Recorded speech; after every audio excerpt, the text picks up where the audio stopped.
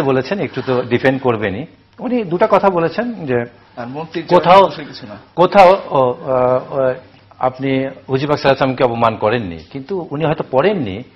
ওই মন্ত্রীরা বলেছে যে আল্লাহ নবীকে হুজিবাক সাল্লাহামকে উনি আবদুল্লাহ পুত্র মোহাম্মদ বলে ব্যঙ্গাত্মক ভাবে এবং সাহাবাদেরকে ডাকাতের ডাকাত বলে প্রকারান্তে সে ওগুলো আমি মুখে নিতে পারি না এটা গুনার বিষয়।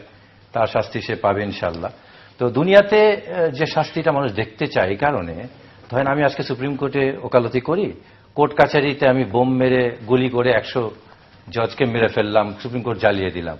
কালকে আমাকে সুপ্রিম কোর্ট বার থেকে আপনি প্রত্যাহার করে দিলেন, সনদ কেড়ে নিলেন। এটা কি আমার বিচার? নাকি আমার ফৌজদারি অপরাধের বিচার হবে? তা আমরা তো তার মন্ত্রিত্ব ক্যান্সেল চাই না। তার সংসদ ইয়ে ক্যান্সেল চাই না। তার শাস্তি চাই। এবং যদি ইসলামী রাষ্ট্র হতো, তার মৃত্যুদণ্ড হতো। যেহেতু ইসলামী রাষ্ট্র না এখানে মদিনা সনদে চলছে। উনি যে বললেন যে এই সংবিধান সবাই কাটাছেড়া করেছে, আমাকে একটা দলের প্রতিনিধি বাড়িয়েছেন বানিয়েছেন। যে, আমাদের দলের প্রয়োজন হয় না।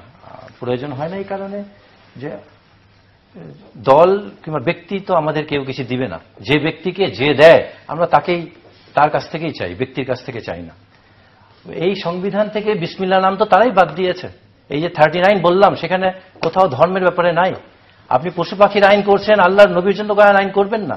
যখনই ব্লাসফেমি কথা বলা হয়, তখনই উনি শাপলার কথা বললেন। শাপলা থেকে আলেম আলেম মেরে আপনারা হজে যাচ্ছেন। আলহাজ কমরেড অমুক, আলহাজ কমরেড অমুক হচ্ছেন। কিন্তু আপনাদের হাতে তো রক্তের দাগ, যেটা বাস্তবতা। আর আপনি বিদেশে গিয়ে উনি আরেকটা কথা বললেন যে উনি বললেন যে এটা নিশ্চয়ই একটা এজেন্ডা। হ্যাঁ আসলেই উনি যে কথাটা বলেছেন একটা এজেন্ডা নিয়ে বলেছেন। কারণ গত ইলেকশনে তারা পাঁচই জানুয়ারি ইলেকশনটা জঙ্গি দেখিয়ে রাষ্ট্রকে, ওই ভিডিও ক্লিপটা আপনার সাপ্তাহ চত্বরের ভিডিও ক্লিপটা দেখিয়ে বলেছে দেশ জঙ্গি হয়ে যাচ্ছে, এই জন্য তোমরা আমাকে সাপোর্ট দাও।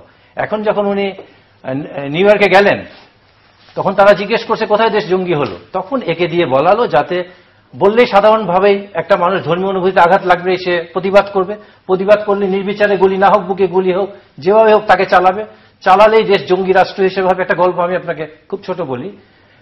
এক পুলিশ গেছে একজনকে জিজ্ঞেস করল, এক মাদ্রাসা ছাত্রকে। যে ভাই, এই এই তুমি কি করো মাদ্রাসায় পড়ি? কোন মাদ্রাসায়? অমুক মাদ্রাসায়। কোন বিভাগে পড়ো? আমি হেফজ বিভাগে পড়ি। কতজন ছাত্র? অনেক। ওখানে আল কায়দা আছে?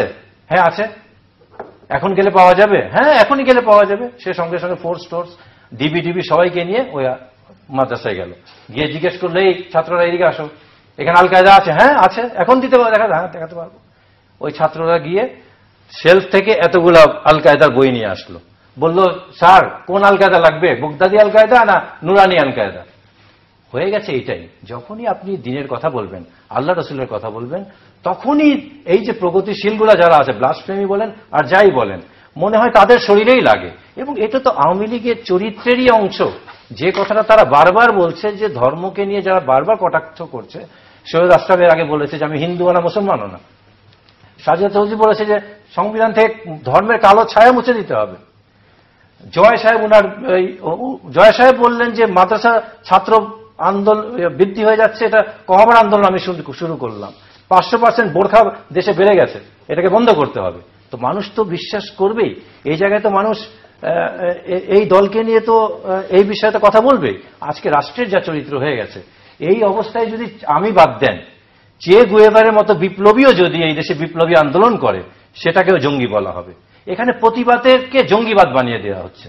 যে প্রতিবাদ করবে, সেই জঙ্গিবাদ। কিন্তু কাজী নজরুল যেটা বলেছেন, দেখেন একটা সুন্দর কথা বলেছেন যে, রসুলের অপমানে যদি না কাঁদে তোর মন, মুনাফিক তুই, মুসলিম নয়, মুনাফিক তুই, রসুলের দুশ্মন। মুসলমান হলে তার হৃদয় কাঁদবেই।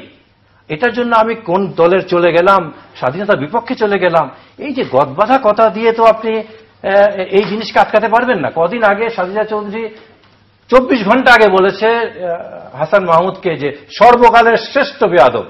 তারপর দিনই তার সাথে নিয়ে শ্রেষ্ঠ বেয়াদবটাকে নিয়ে সে কথা বলছে এবং বলছে, তার মতো ভালো ছেলে হয় না। এই আবুল ছিল এক সময় দুর্নীতিবাস পরদিনই সে হয়ে গেল দেশপ্রেমিক। কালকে যে লতিফ সিদ্দিকি আবার ভালো মানুষ হয়ে আসবে না, এই দলে এটা কীভাবে বিশ্বাস করবেন? যে দলে প্রধানমন্ত্রী তার সফর সঙ্গী নিয়ে গেছেন চার সচিব এমন এক সচিবকে চার সচিবের মধ্যে যিনি মুক্তিযুদ্ধের ভুয়া সার্টিফিকেট দাখিল করে গেছেন। মানে সর্বশ্রেষ্ঠ প্রতারক দেশের সর্বোচ্চ পর্যায়ে। তাকে নিয়ে গেছেন তার কোনো বিচার নাই।